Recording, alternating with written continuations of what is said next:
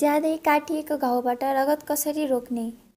अचानक कुनै ठुलो दुर्घटनामा परि गहिरो घाउ हुन गएमा उक्त घाउबाट धेरै रगत बग्न सक्छ।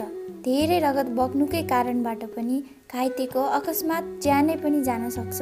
त्यसैले यस्तो अवस्थामा रगत रोक्नु नै महत्त्वपूर्ण कुरा हो। चाहिने सामग्रीहरू सफा कपडा र सफा पट्टी। सबैभन्दा पहिला काटिएको भागमा आफ्नै हात वा सफा कपडाले थिच्नुपर्छ। यसो गर्दा सम्भव भएमा घाउ सफा गर्न मिल्ने कुनै ठाउँमा लगेर राख्नुपर्छ। सम्भव भएसम्म सक्दो छिटो घाउलाई उमालेर सेलाएको सफा पानी र साबुनले धुनुपर्छ। यसपछि फेरि घाउलाई सफा कपडा वा हातले थिच्नुपर्छ। यसो गर्दै घाइतेको घाउ भएको भागलाई माथि उठाएर राख्नुपर्छ। रगत नथामिएसम्म थिचि नै रहनुपर्छ। रगत रोक्न कम्तीमा पन्ध्र मिनटदेखि एक घन्टासम्म पनि लाग्न सक्छ। यति गर्दा पनि रगत नथामिएको खण्डमा घाइतेको घाउ र शरीरको भित्रपट्टि घाउको नजिकै र अलि माथि कुनै कपडा वा कम्मर पेटीले बाँध्नुपर्छ। यसरी बाँध्दा ध्यान दिनुपर्ने कुराहरू।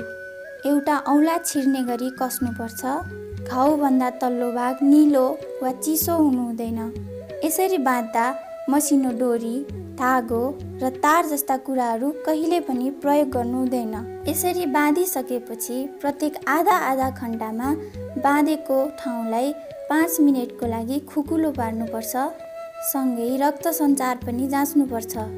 यदि रगत निरन्तर बगि नै रहेको छ भने यसो गर्दै घाइतेलाई सक्दो छिटो स्वास्थ्य संस्था पुर्याउनुपर्छ।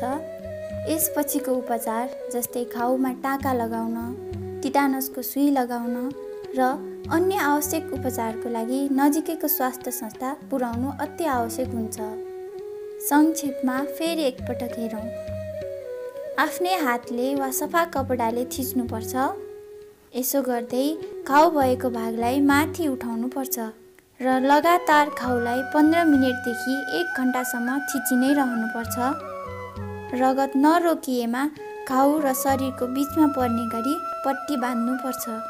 प्रत्येक आधा आधा घन्टामा पाँच मिनटको लागि बाँधिएको पट्टी खोल्नुपर्छ र सँगै रक्त सञ्चार पनि जाँच्नुपर्छ